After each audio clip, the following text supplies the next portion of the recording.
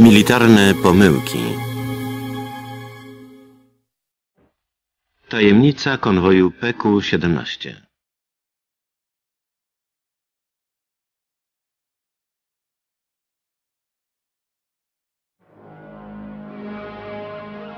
Przez większość II wojny światowej brytyjska marynarka królewska obawiała się jednego niemieckiego okrętu, potężnego pancernika Tirpitz. Jego osiem dział kaliber 380 mm mogło zatopić każdą aliancką jednostkę pływającą. Tirpitz większość czasu spędzał w norweskich fiordach, zagrażając stamtąd zmierzającym ku Rosji konwojom. Wiozły one zaopatrzenie wysyłane przez aliantów przez Ocean Arktyczny do portów w Rosji.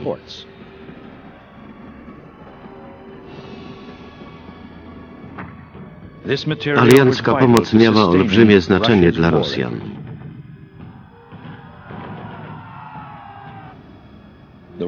Marynarka królewska obawiała się, że Tirpitz zaatakuje jeden z konwojów. Strach doprowadził do jednej z największych pomyłek tej wojny. Błędnie zakładając, że Tirpitz płynie w kierunku konwoju PQ-17, admiralicja nakazała jego eskorcie odwrót. Statki handlowe zostały same. Większość z nich padła ofiarą niemieckich samolotów i okrętów podwodnych.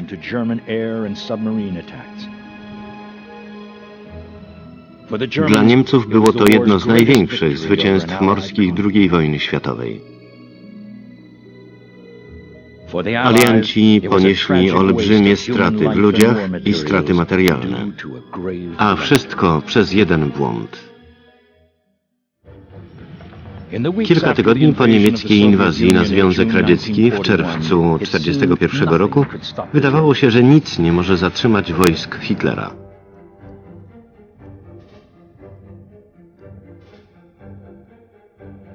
Rosjanie ponosili klęskę za klęską.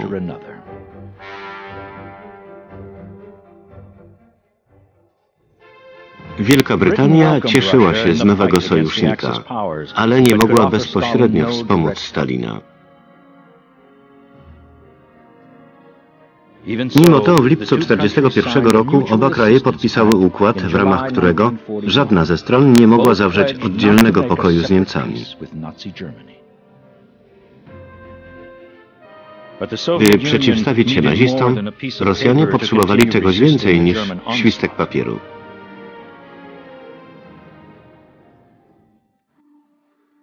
Churchill wysłał więc konwój z samolotami i zapasami gumy do portów w Murmańsku i Archangelsku.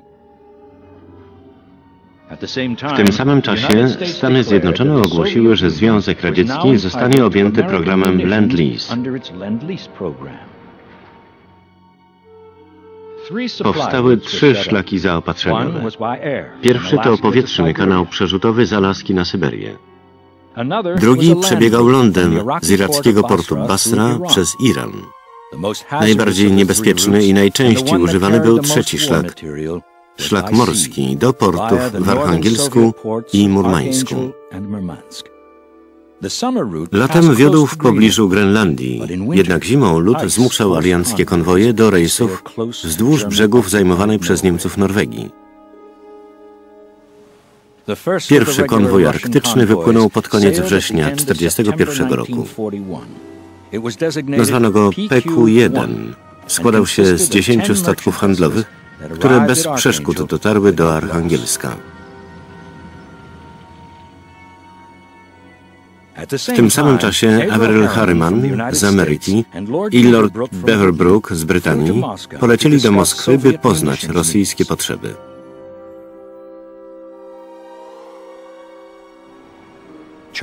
Churchill ogłosił, że będzie wysyłał konwoje co 10 dni. W praktyce było to jednak niemożliwe.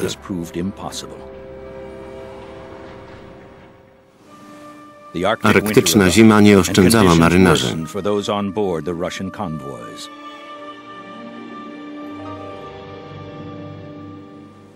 Okręty eskorty zmagały się ze sztormową pogodą. Dochodziło do licznych usterek. Ameryka nie przystąpiła jeszcze do wojny, a Brytyjczycy nie mieli odpowiedniej ilości okrętów. Konwoje wypływały z opóźnieniem.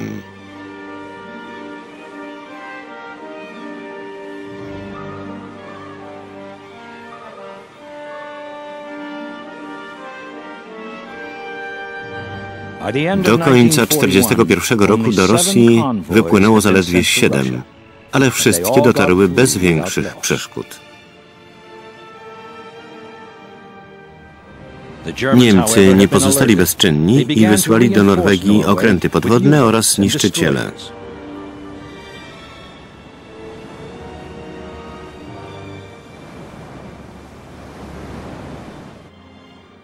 W styczniu 1942 roku do Norwegii trafił Tirpitz.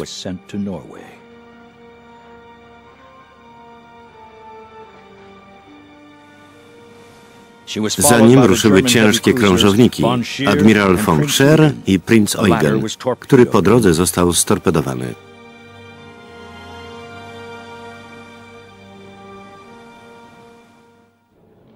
Brytyjczycy szybko odkryli obecność Tyrpica. Doskonale wiedzieli, jakie stanowi zagrożenie dla arktycznych konwojów. Churchill nazwał go najważniejszym okrętem wojennym w obecnej sytuacji.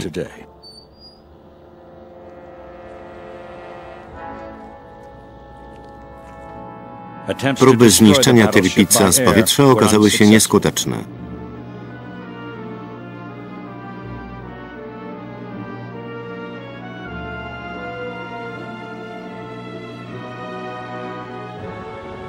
W marcu 1942 roku Tirpitz ruszył w pościg za swoim pierwszym konwojem, PQ-12, zlokalizowanym przez niemiecki samolot rozpoznawczy.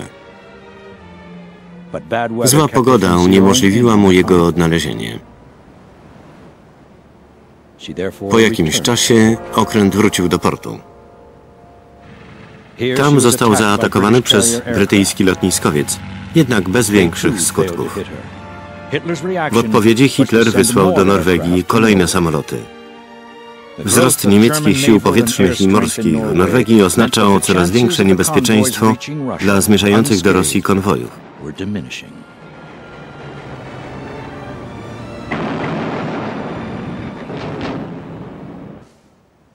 Wiosną 1942 roku w Arktyce panował dzień polarny, pozbawiając konwoje osłony ciemności.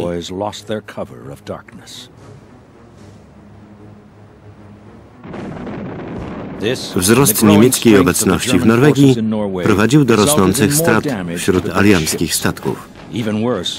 Lód ustępował powoli, więc konwoje musiały nadal płynąć blisko norweskiego wybrzeża. Związek Radziecki był pod wielką presją. Niemcy uderzyli na południu Rosji z zamiarem zajęcia roponośnych pól Kaukazu.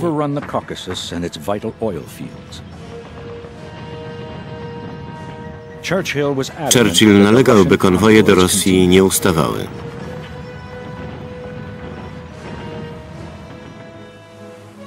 Konwój PQ-16 wyruszył w tym samym dniu, w którym Churchill wydał oświadczenie. Zanim dotarł do Murmańska, stracił sześć statków.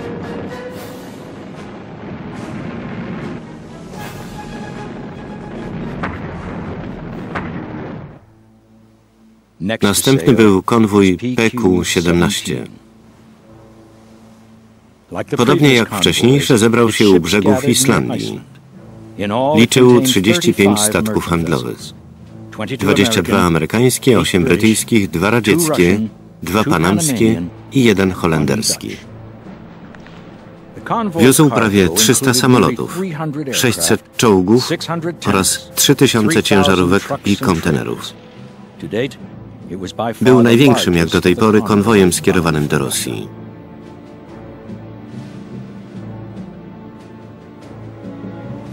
Jego eskortę stanowiło sześć niszczycieli i kilka mniejszych okrętów wojennych. Świadoma zagrożenia brytyjska admiralicja wysłała przed konwojem silniejsze zgrupowanie bojowe. Składało się ono z brytyjskiego krążownika London, amerykańskiego krążownika Wichita, brytyjskiego krążownika Norfolk oraz drugiego amerykańskiego krążownika Tuscaloosa i trzech amerykańskich niszczycieli.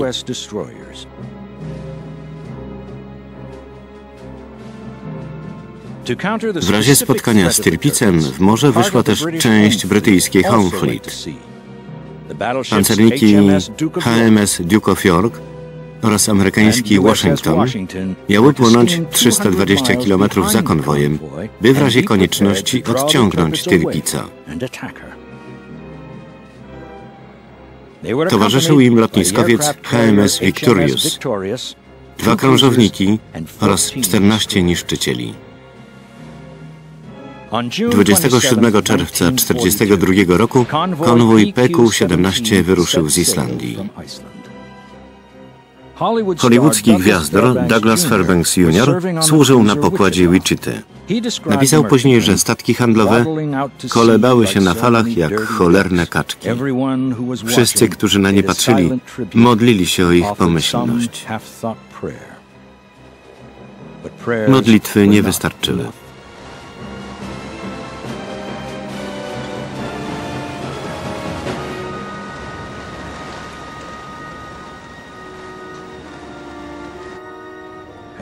Kiedy konwój płynął na północ, na jego drodze pojawiły się uboty.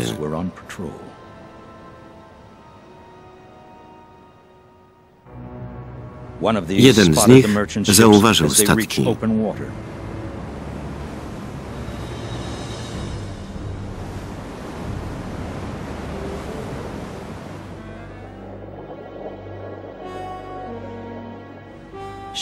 Śledzony przez uboty konwój wpłynął w pole lodowe. Kra uszkodziła część jednostek. Jeden statek musiał wracać, inny osiadł na mieliźnie. Zostały 33. 1 lipca konwój został wykryty przez niemiecki samolot zwiadowczy. W każdej chwili spodziewano się ataków ubotów i samolotów. Istniało też ryzyko, że na horyzoncie ukaże się potężny Tirpitz.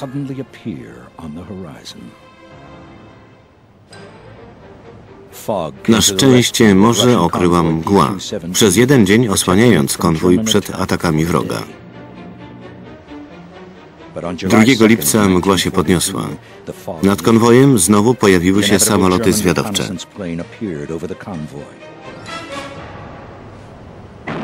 Wczesnym wieczorem zaatakowały go niemieckie samoloty torpedowe. Odgoniono je ogniem artylerii przeciwlotniczej.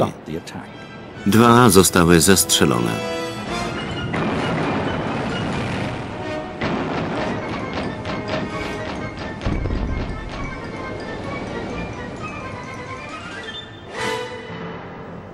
Następnego dnia konwój uniknął ataków. Sytuacja zmieniła się 4 lipca.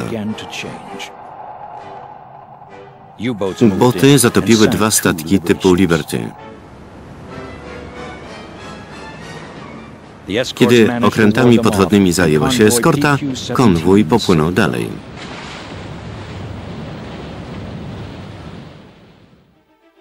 W tym samym czasie w Londynie admirał Dudley Pound, wyczerpany trzema latami dowodzenia królewską marynarką, otrzymał niepokojące wieści.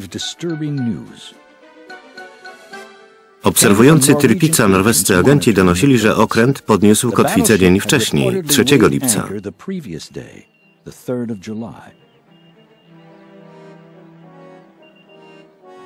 Dla Pounda oznaczało to tylko jedno – Tirpitz i jego eskorta zmierzali ku konwojowi PQ-17.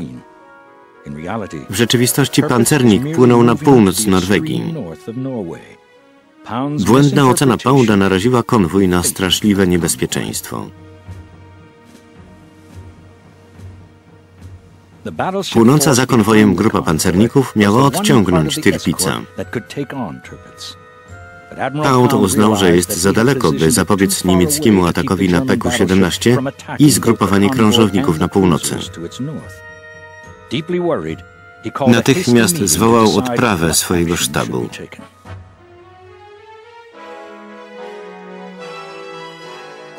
Wszyscy jego członkowie poza jednym stwierdzili, że konwój powinien pozostać w grupie.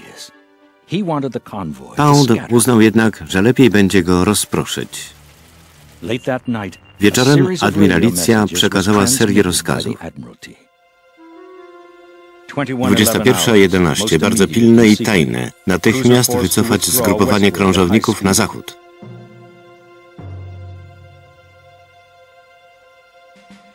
21.23. Pilne. Z powodu zagrożenia atakami jednostek nawodnych, konwój ma się rozproszyć i płynąć do rosyjskich portów. 21.36. Bardzo pilne. Konwój ma się rozproszyć.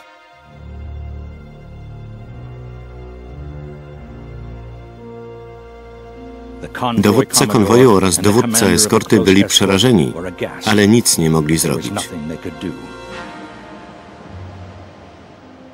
Niszczyciele odpłynęły, pozostawiając konwój PQ-17 własnemu losowi. Ostatnia depesza dowódcy eskorty do statków handlowych brzmiała Przykro nam, że was zostawiamy. Powodzenia. Cholerna wojna.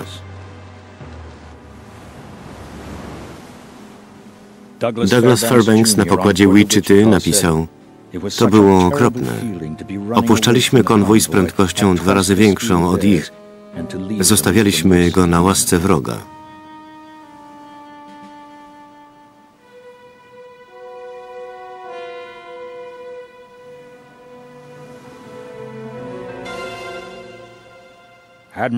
Pound uważał, że statki handlowe mają większą szansę płynąc do Rosji pojedynczo.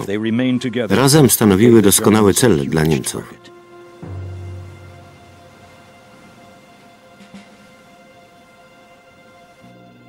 Nie wziął jednak pod uwagę, że arktyczna kra znacznie ograniczy ich pole manewru.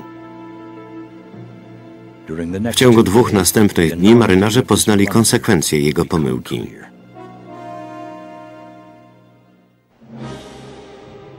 Dzień później, 5 lipca, do akcji przystąpiły U-boty i samoloty Luftwaffe.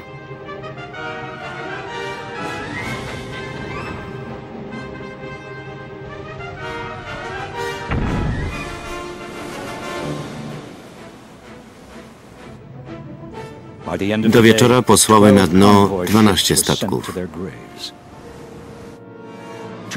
Następnego dnia zatonęły jeszcze dwa, a 7 lipca kolejne cztery.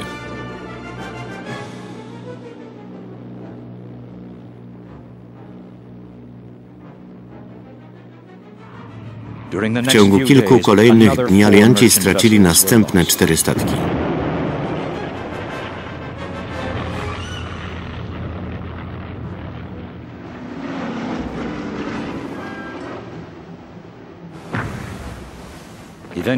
Do Rosji dotarło tylko 11 z 35 statków handlowych, które wypłynęły z Islandii. Trzy poszły na dno w czasie rejsu powrotnego. PQ-17 był katastrofą oraz największym niemieckim zwycięstwem w walce z alianckimi konwojami.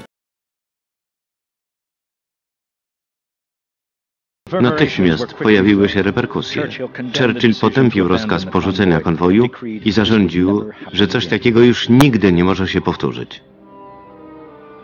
Amerykański szef sztabu marynarki wojennej, admirał Ernest King, był tak wściekły, że nalegał na zakończenie amerykańsko-brytyjskiej współpracy na północnym Atlantyku. Rosjanie oskarżyli zachodnich aliantów o zawyżanie strat PQ-17. Wyrazili gwałtowny sprzeciw, kiedy rejs kolejnego konwoju odłożono aż do jesieni. Konwoju PQ-18 strzegły 53 okręty eskorty.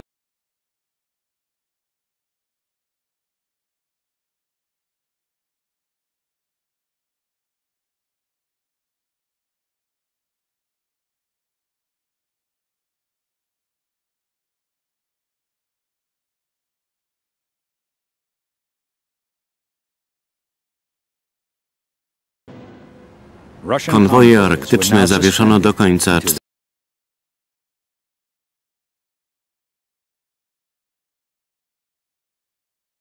Potem je wznowiono i z mocniejszą eskortą oraz lepiej opracowaną taktyką kontynuowały rejsy aż do końca wojny.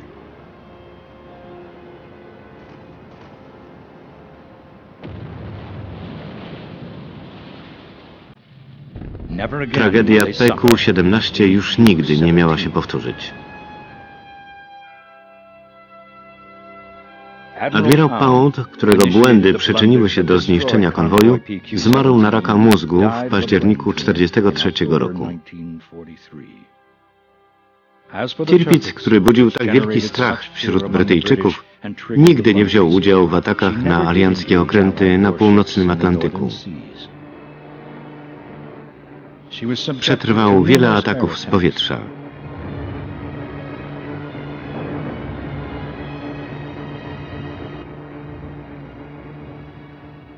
W końcu w listopadzie 1944 roku zatopiły go bombowce Lancaster. Poszedł na dno, a wraz z nim 1200 członków załogi. Marynarze konwoju PQ-17 poznali słodycz zemsty.